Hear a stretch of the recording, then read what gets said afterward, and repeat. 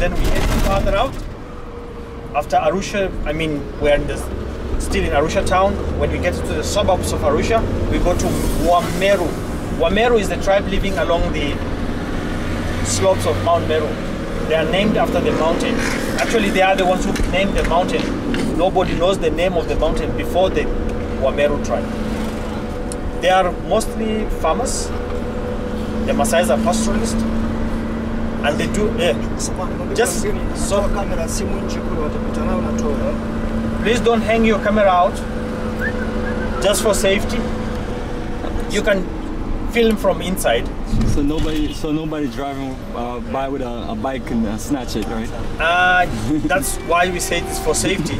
We don't want something to happen because let you know that there is always first time. In every, even if there's nothing that's ever happened, there is first time. The green plants you see coming on the backyard, those are banana trees.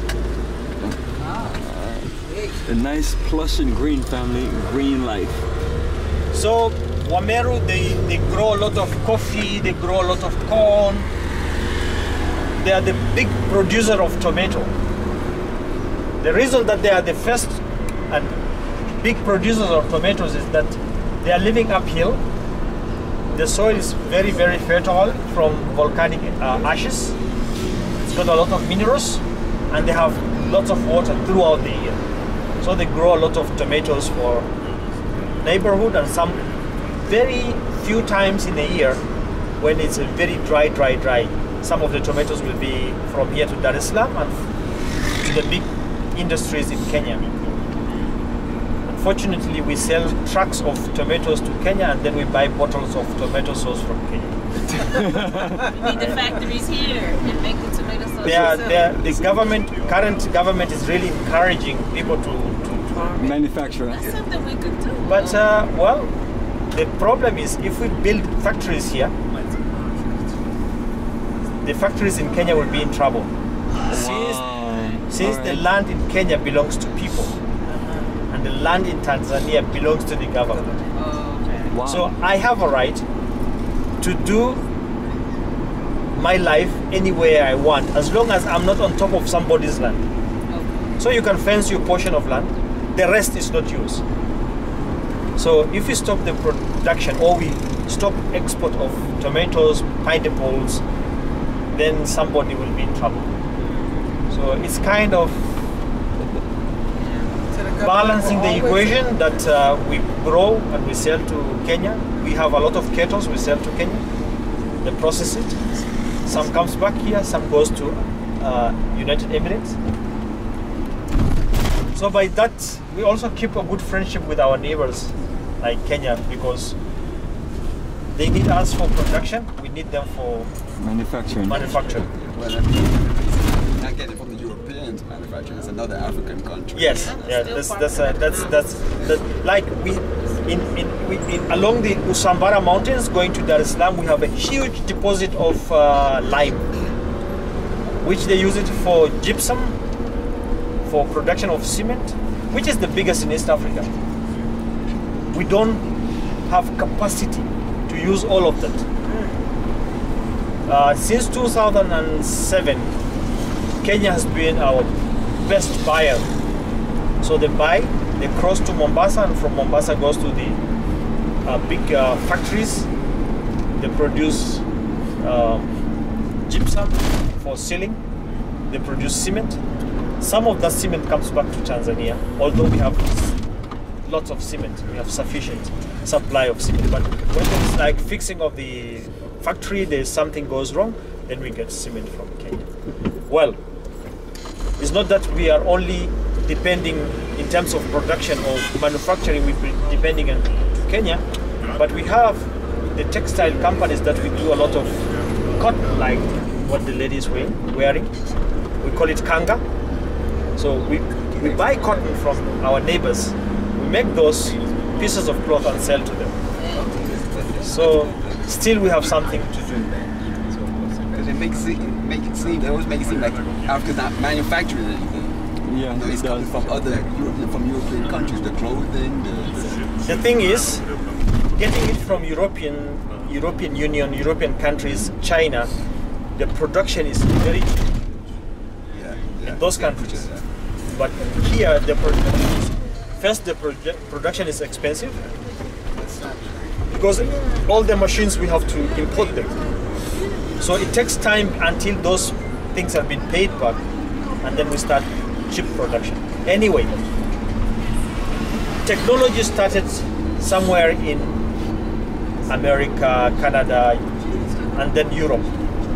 And then from Europe went to Japan. And from Japan to China. From China to Thailand. From Thailand to India.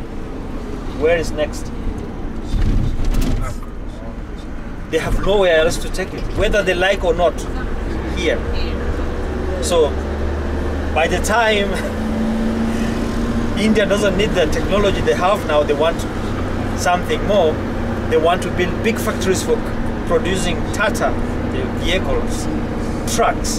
They have to bring, bring it here. And there's no way they take it out to stay here. By then, our people will learn how to produce things. And then nobody will want to be dormant. Nobody will want to stick with the old technology. We want the modern technology. Then we will modify by ourselves. So it's just a matter of time. As you say, time will tell. And we say time doesn't lie. So we're looking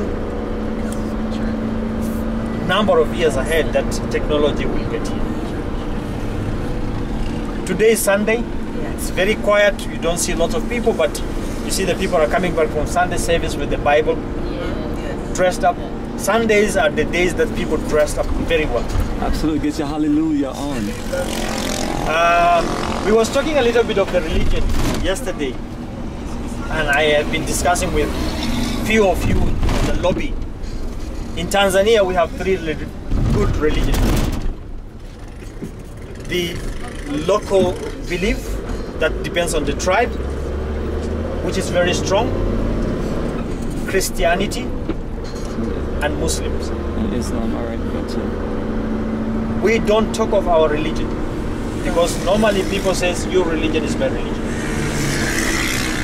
we have some most of the time like 90% family with three different religion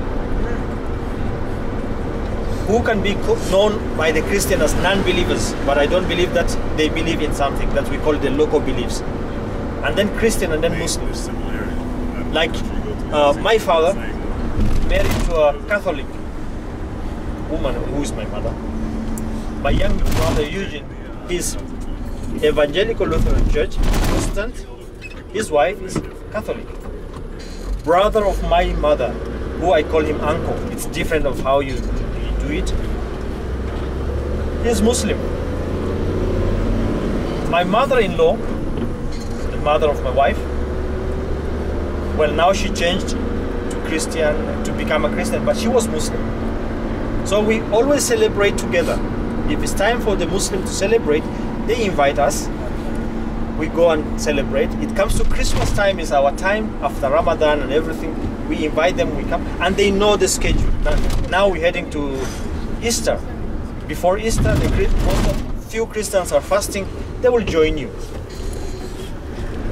Uh, and if you want people to like not talk to you, isolate you, try to bring up the issues of religion.